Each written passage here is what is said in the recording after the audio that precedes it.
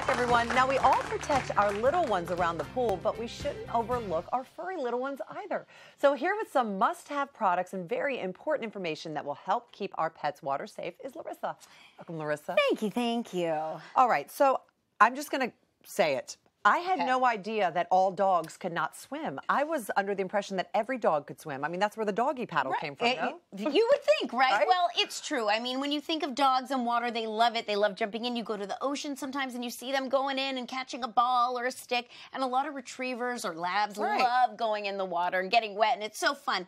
But there are certain dogs that should not go in the water. It is very dangerous for them, and I just wouldn't be doing my job without putting that out there. So, dogs that are really short and have big chests and that smushy face, Okay. kind of like pugs, Oh, French bulldogs, any kind of bulldogs, um, uh, dachshunds even, they have, they're anatomically not made to be in water because they have that big top heavy chest. They can easily, easily drown. Oh, boy. but they probably would do the doggy paddle. Of course just- they would, but I just want everybody out there to know that there are certain life jackets specifically made for those types of dogs, but Oh, be extra, extra, extra cautious. They're your babies, and it's All your right. job to just protect. Okay, and, and truthfully, it's not just pools because right now it's boating season. So everyone's taking their dogs out on the lake or rivers or oceans. Yeah, right? I mean, they're part of the family. We love doing it. We want to bring them along. And this whole idea actually came to me because one of the dogs that we showcased on our show, who was then named Fletcher, now named Max, I remember him. he was Look so cute. Yes,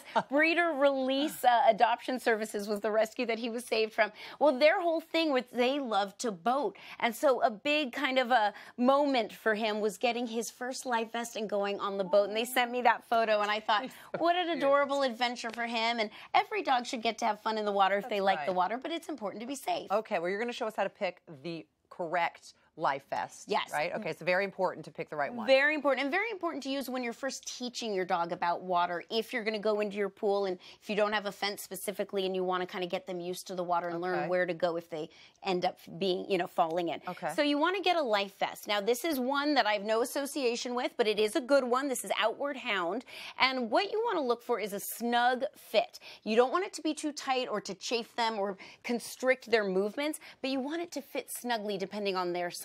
The other thing are these handles. If you need to lift them up or bring them in really quickly in case of any kind of emergency, so you want the control. And then the last thing is you want to look for bright colors, bright yellow, orange, red, because depending where you are, the time of day, you want to make sure it's something that can be easily seen by everyone and anyone. Okay. And we actually used this on one of our, our family member dogs, and his name is Archie, and he absolutely loved it. And Aw. Archie is actually scared of the water, believe it or Oh not. goodness, he he didn't love the pool. And so by putting this life vest on him, he felt so much more confident. So it was really nice to see him having a blast and playing and feeling safe uh, and comfortable in the water because it there's nothing better than seeing a dog enjoy really enjoy a warm day like that. All right, you also have another device that um, is for the pet parent who can't keep their eyes on their dog 24 7. Say you're at a barbecue and you're tending to the grill or you have to run in the house.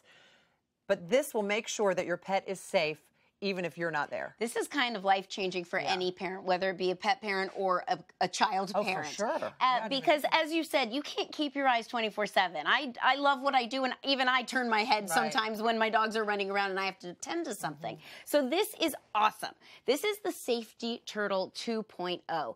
And what it does, it comes in two pieces. You've got one piece that's a little turtle. You can see it right there. And one piece that's kind of the base that you plug in inside your house. And this comes in larger sizes for kids, mind you, but this is the one specifically for dogs. It goes on their collar. The second it hits water, meaning your pool in this instance, Wow, and that is loud. that is loud. I don't know if you can hear that at home, but oh my gosh. That is loud. and you will know no matter where you are in your home, something is in the water. Let's go look. And we have video actually of Paige's dog, um, who is named Juno. Look at that. He liked it. He didn't feel it. It was lightweight, and you can slightly hear that alarm went off the Oh second goodness. he was in the water. Okay, quick question. Yes. Does the alarm does an alarm sound on this or only in the house? Only in the house. It, the the noise is emitted through this. It has a speaker, so it doesn't It's not gonna freak scare the the, dog. Um, and it works up to 200 feet. It's plug. You plug it in, so you don't have to worry about a battery dying or anything like that.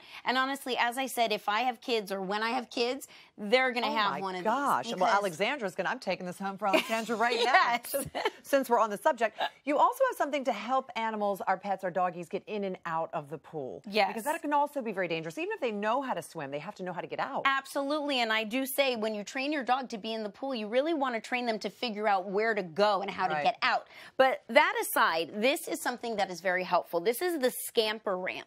And basically, it's a very lightweight plastic uh, uh, uh, thing that you adhere on the outside of your pool. You can either drill it in or you can tie it to the.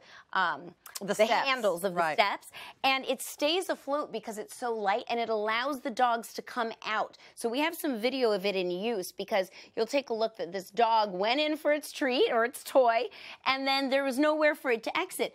But it had been trained to find this Skamper Ramp. And again, you do want to work with your dog and Right. make sure the dog is aware where to go. Because there aren't even any steps They there. there are no steps for the dog. But that allowed him, because of these perforated holes as well, to kind of grip and make his way up. Larissa, that's great for squirrels, for frogs, for any kind of great critter you have if you live in, in nature. Yes, That's great. Exactly, you, and it's not too expensive. You can buy it online, and it's a, it's just a great, it's a great piece of equipment if you've got a pool. I love you, Larissa. Yeah. Thank you for everything Thank you. you. It's also great for kids, to be honest. Yeah. for more information, go to hallmarkchannel.com and, of course, savedbytheL.com. And stick around because up next, I have the perfect one pan dinner for this weekend's premiere of Mystery 101 Playing Dead. You're going to love it. It's so good you could die.